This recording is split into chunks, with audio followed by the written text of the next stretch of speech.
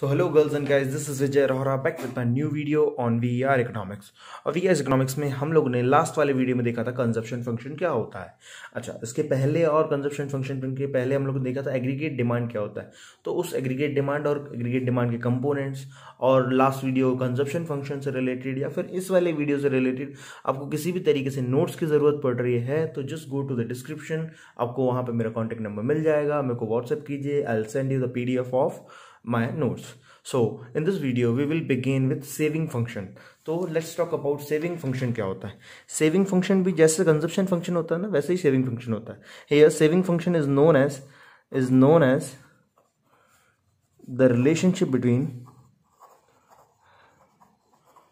relationship between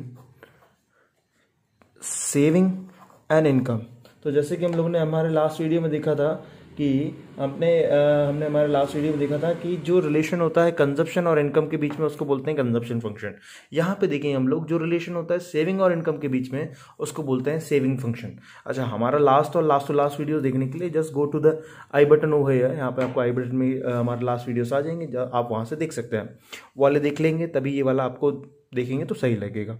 तो यहाँ पे सेविंग फ़ंक्शन क्या होता है? Saving function is known as the relationship between saving and income saving और इनकम के बीच में जो रिलेशन होता है, उसको हम लोग बोलते हैं सेविंग फ़ंक्शन तो इसी को हमने समझने के लिए हमने एक शेड्यूल बना दिया। शेड्यूल हमारा लास्ट वीडियो के जैसा सेम है। उसी को आगे कंटिन्यू करते हैं। तो जैसे इनकम था कंजप्शन था सेविंग था। हमारी इनकम कुछ नहीं थी। उसके बाद में हमने बीस रुपये खर्च कर दिए। अब इनकम कुछ नहीं थी। बीस रुपये खर्च कर दिए तो इनकम माइनस कंजप्शन करेंगे। मैंने ज़ीरो इनकम थी और बीस रुपए खर्च कर दिए। तो अल्टीमेटली हमारी सेविंग्स क्या हो गई? यहाँ पे माइनस ट्वेंटी हो गई। तो सेविंग हमेशा आपकी चालू तो चालू होती है। कहाँ से? नेगेटिव से। जब आपकी इनकम कुछ भी नहीं है और आपको खर्च करना है तो कहाँ से करोगे आप? पुरानी सेविंग्स से। तो यहाँ पे आपकी नेगेटिव सेविंग्स क्रिएट होती है। One of the income is zero the consumption it create there is some minimum level of consumption which creates negative savings इसके बाद मैंने थोड़ा सा कमाया था, बीस रुपये कमाया, मैंने इस बार तीस रुपये खर्च किया। बाकी इनकम का थोड़ा सा हिस्सा मैंने किसमें डाल दिया? सेविंग्स का। इस बार मैंने सेविंग्स में सिर्फ़ घर से कितना लेके आया था? सिर्फ़ दस रुपये यहाँ पे और आगे बढ़ते हैं, मैंने चालीस कमाया, चालीस खर्च कर दिया। इस बार मैंने कुछ भी नहीं लिया घर से। थर्ड बात करते हैं नेक्स्ट बात करते हैं कि हमने साठ रुपये कमाया, पचास रुपये खर्च कर दिया इस बार मेरी सेविंग्स होना चालू हो गए और यहाँ से मेरी सेविंग्स बढ़ना भी चालू हो गई। तो this is what the schedule of saving तो शेड्यूल सेविंग शेड्यूल के बाद बात करते हैं, हम लोग एक सेविंग के ग्राफ की। सेविंग का ग्राफ कुछ इस तरीके से बनता है X Y zero X dash और वाई डैश अच्छा सेविंग की बात यह है कि सेविंग जो है ना हमेशा नेगेटिव से चालू होता है यहाँ से, है ना?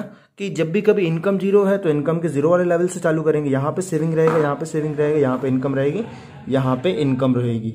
तो यहाँ पे हम लोग बात करते हैं सेविंग हमेशा नेगेटिव से चालू होता है। क्यों? क्योंकि अगर इनकम ज़ीरो है तो सेविंग हमेशा कुछ ना कुछ देर इज़ मत देर में कुछ ना कुछ कंजप्शन होगा। और वो कंजप्शन कहाँ से होगा? हमारी पुरानी सेविंग्स से। तो सेविंग्स हमेशा कहाँ से चालू होती है?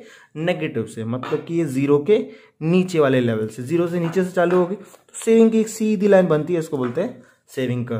तो यहाँ पे इस पॉइंट पे अपन, इस पॉइंट को क्या बोलते हैं? यहाँ पे ई e पॉइंट देते हैं, जहाँ पे इस पॉइंट को अपन बोलते हैं, जहाँ पे सेविंग्स हमारा ज़ीरो हो सकता है। या फिर इस पॉइंट को हम लोग consumption is equal to income वाला पॉइंट भी दे सकते हैं कि यहाँ पे जहाँ पे income is equal to consumption होता है तो उस समय पे हमारी सेविंग्स क्या होती है? ज़ीरो होती है। अच्छा इसी पॉइंट को हम लोग ने हमारे लास्ट वीडियो में क्या बोला था? Break even P I O N T point P O I N T point तो यहाँ पे हम लोग ने इस पॉइंट को क्या बोला था? ब्रेक इवन पॉइंट अच्छा ब्रेक इवन पॉइंट के बारे में और क्लियरली समझने के लिए just go to the I button आपको वहाँ पे हमारा लास्ट वीडियो मिल जाएगा ब्रेक इवन पॉइंट समझ में आ जाएगा। इसके बाद बात करते हैं सेविंग से रिलेटेड कुछ रिलेशंस की। Relation between saving and income तो सबसे पहला रिलेशन सबसे पहला रिलेशन कुछ इस तरीके से है कि there is always some minimum level of consumption some minimum consumption even when income is equal to zero. हमेशा हम लोग कुछ ना कुछ खर्च करेंगे, भले ही हमारी इनकम क्या है? ज़ीरो है। Which creates which creates negative savings जिससे हमारा क्या होगा? नेगेटिव सेविंग्स क्रिएट हो जाएगी। So we can say that S always begins with negative which is known as known as S bar or autonomous saving कि जैसे हम लोगों ने कंजप्शन फ़ंक्शन में बात किया था, जब भी कभी हमारी इनकम ज़ीरो है तो जो कंजप्शन है उसको क्या बोलेंगे हम लोग? सी बार इस तरीके से जब भी कभी हमारी इनकम ज़ीरो है तो उस समय पे जो सेविंग है, उसको हम लोग बोलते हैं क्या? एस बार तो यहाँ पे जब भी कभी इनकम ज़ीरो है तो कुछ ना कुछ खर्च करेंगे और कुछ कुछ ना कुछ खर्च कहाँ से करेंगे? पुरानी सेविंग से। तो इनकम जब ज़ीरो होगी तो सेविंग्स हमेशा क्या होगा? कुछ नेगेटिव होगी और वहाँ पे ऐसा कह सकते हैं कि एस बार हमारा क्या होता है? हमेशा नेगेटिव ही होता है। दूसरा रिलेशन बात करते हैं कि there is same relation between between income and saving, income और सेविंग के बीच में क्या रिलेशन होता है? Same relation income same relation होता है। As income increases saving increases and vice versa कि जैसे जैसे हमारी इनकम बढ़ेगी, वैसे वैसे हमारी सेविंग बढ़ जाएगी। जैसे जैसे हमारी इनकम घटेगी, वैसे वैसे हमारी सेविंग घट जाएगी। तो there is same relation between income and saving इसका तीसरा रिलेशन बात करते हैं कि saving is always lesser than income आपको ये समझ में आ रहा होगा ना वाई इनकम को बोलते हैं एस सेविंग को बोलते हैं सी कंजप्शन को बोलते हैं। तो यहाँ पे तीसरा रिलेशन क्या है? Saving is always lesser than income unlike C consumption income से ज़्यादा हो सकता है, पर सेविंग इनकम से कभी भी ज़्यादा नहीं हो सकता। आप देखो, हम लोग कुछ नहीं कमा रहे हैं, खर्च तो कर रहे हैं। मतलब हमारी इनकम ज़ीरो है, तभी भी हमारा कंजप्शन क्या है? ट्वेंटी है। बट हमारा सेविंग्स हमेशा क्या है? नेगेटिव है। मतलब कि आप इनकम और सेविंग के बीच में जो गैप देखोगे ना रिलेशन देखोगे तो इनकम हमेशा हमारी हमारी सेविंग से ज़्यादा दिखेगी। तो S is always lesser than income unlike C C के जैसा नहीं सी इनकम से ज़्यादा भी हो सकता है। बिकॉज़ ऐसा क्यों होता है? Because S is a part of income S क्या होता है? हमारी इनकम का एक हिस्सा होता है। कमाई करेंगे, तभी तो बचत होगी। नहीं कमाया तो बचत कहाँ से होगी? पर खर्च हो सकता है। कमाएँगे नहीं, खाने के लिए, पेट में खाने के लिए हम लोगों को कुछ ना कुछ पैसे तो चाहिए। तो खर्च कर सकते हैं, पर हम लोग बचत नहीं कर सकते। तो ये तीसरा रिलेशन था। चौथा रिलेशन चौथे रिलेशन की तो बात करते हैं तो वो भी सेम ऑलमोस्ट कंसेप्शन फ़ंक्शन जैसा है। S line is a straight line S line क्या होती है? स्ट्रेट लाइन होती है। शोज़ जो क्या शो करती है? शोज़ लीनियर एस फ़ंक्शन जो क्या शो करती है? Linear saving function S line क्या होती है? स्ट्रेट लाइन आपको दिख रही है स्ट्रेट लाइन तो एस लाइन क्या है? स्ट्रेट लाइन है, जो क्या शो करती है? लीनियर सेविंग फ़ंक्शन क्यों शो करती है? Because again the slope of S line is कि एस लाइन का जो स्लोप होता है, हमने आपको फिर से बता रहे हैं किसी भी ग्राफ का जो फेस होता है, जैसे इस लाइन स्ट्रेट दिख रही है है ना? किसी भी ग्राफ का जो फेस होता है, वो किस पे किस पे डिपेंड होता है, उसके स्लोप पे। तो यहाँ पे एस लाइन स्ट्रेट लाइन है, जिसकी वजह से लीनियर सेविंग फ़ंक्शन शो कर रही है, जिसकी वजह से लीनियर सेविंग फ़ंक्शन शो कर रही है। और ऐसा क्यों? क्योंकि उसका स्लोप जो है slope of S line is always constant क्योंकि स्लोप ऑफ़ एस लाइन क्या होता है? हमेशा कॉन्स्टेंट होता है। अब ये स्लोप ऑफ़ एस लाइन कौन है यार? तो यहाँ पे स्लोप ऑफ़ एस लाइन की बात करते हैं। कि स्लोप ऑफ़ एस लाइन क्या होता है और क्यों होता है? तो स्लोप ऑफ़ एस लाइन की बात करते हैं। तो यहाँ पे स्लोप ऑफ़ एस लाइन होता है M P S M P S क्या होता है? एम पी एस होता है marginal propensity to save marginal propensity to क्या सेव क्या होता है? मार्जिनल प्रोपेंसिटी टू सेव को हम लोग बोल सकते हैं कि it is known as the relationship between change in saving and change in income इसको निकालते भी कैसे हैं? Delta S upon delta Y करके और होता भी क्या है? Relation between change in saving and change in income यहाँ पे बात करते हैं आगे। इसको भी वही बोला जाता है। It is known as the speed of increase in saving कि अगर एमपीएस क्या है? One by one by two है. वन बाय टू है तो हमारी इनकम कितनी ग्रो हो रही है? इनकम कितनी हुई? ट्वेंटी से ग्रो हुई.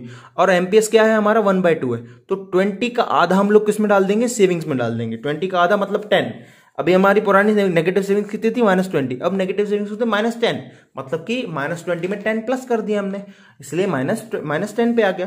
तो इस तरीके से एमपीसी क्यों क्या बोलते हैं हम लोग? It is known as speed of increase in income increase in savings तो MPC is known as the speed of increase in savings इसी तरीके से हम लोग अगर निकाल लेते हैं एमपीसी सॉरी एमपीएस अगर हम लोग निकाल लेते हैं यहाँ पे तो यहाँ पे अगर हमको एमपीएस निकालना है तो इस साइड निकाल देते हैं हम आपके लिए। तो यहाँ पे अगर एमपीएस निकालना है तो कैसे निकालेंगे? Delta saving upon delta income तो डेल्टा सेविंग और डेल्टा इनकम निकालने के लिए पहला सेविंग और इनकम तो है नहीं हमारे पास, क्योंकि इसका चेंज नहीं निकल पाएगा। ठीक है? तो यहाँ पे फिर देखते हैं डेल्टा सेविंग दूसरे का कैसा आ रहा है? तो डेल्टा सेविंग मतलब कि new saving minus old saving. मतलब कि S one minus S upon Y one minus Y तो यहाँ पे एस वन क्या है? Minus ten minus minus twenty S one minus ten है और एस क्या है? माइनस ट्वेंटी है। इस तरीके से वाई वन क्या है? ट्वेंटी और वाई क्या है?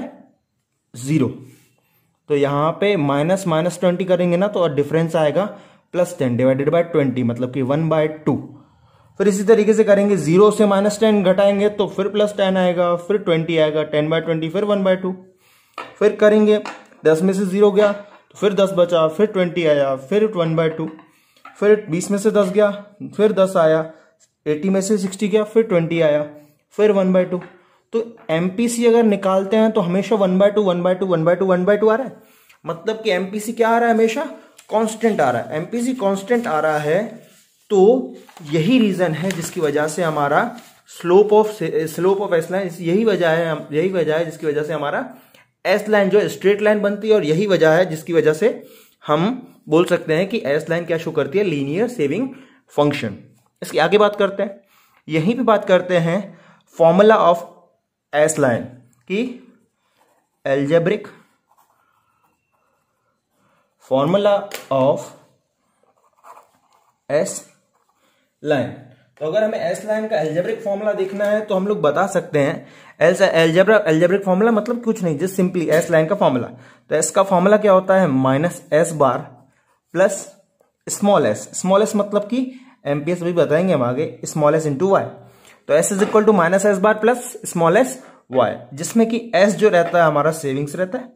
सेविंग्स मतलब कि सेविंग्स में से कोई भी एक पॉइंट हो सकता है, जिसमें हमारा एस बार एस बार क्या होता है? ऑटोनॉमस सेविंग क्या होता है?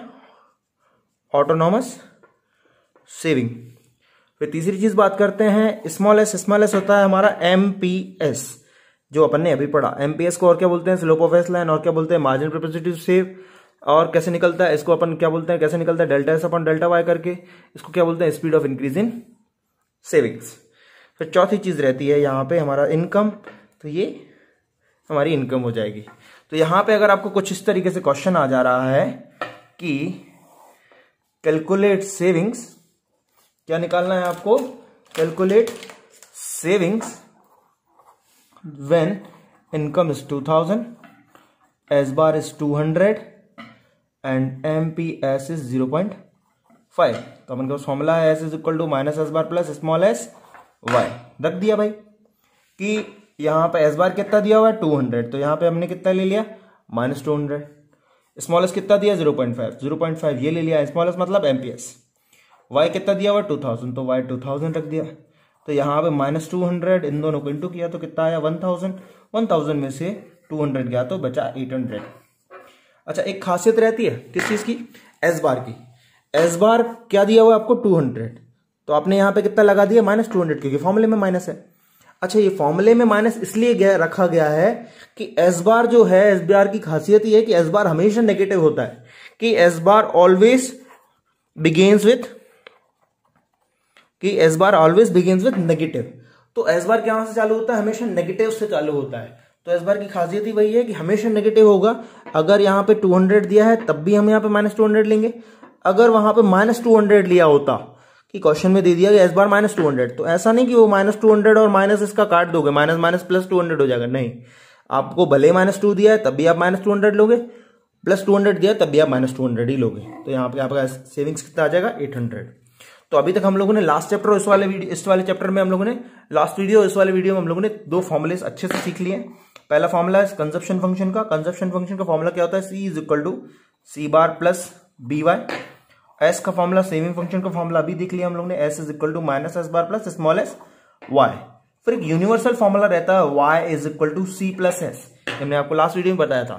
तो Y is equal to C plus S क्या है? यूनिवर्सल फॉर्मूला जब भी कभी हमारी इनकम होगी तो जो कंजप्शन होगा सेविंग होगा, निकल आएगा। कि हमारी इनकम यहाँ पे इस वाले क्वेश्चन के हिसाब से देखे तो इनकम कितनी थी? टू थाउज़ेंड सेविंग्स हमने कितने निकाली? एट हंड्रेड तो अल्टीमेटली हमारा कंजप्शन कितना होगा? टू हंड्रेड ट्वेल्व हंड्रेड कुछ इस तरीके से। समझ में आया?